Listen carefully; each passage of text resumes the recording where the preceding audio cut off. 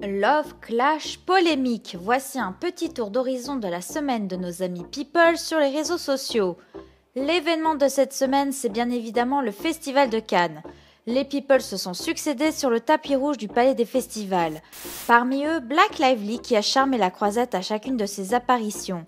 Malheureusement, de retour à Los Angeles, la comédienne s'est retrouvée au cœur d'une polémique. En cause, un commentaire en légende de l'une de ses photos que certains ont jugé raciste. Dur, dur le retour à la réalité. Cette année encore, les People nous ont fait vivre les coulisses de leur montée des marches, à l'instar de Lily Rose Depp, Yuma Thurman, Naomi Watts, Emmanuel Béard, Soko, ou encore Irina Shek.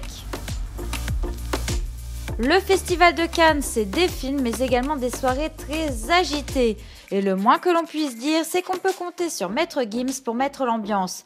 Sapé comme jamais, le rappeur a réveillé la croisette. Les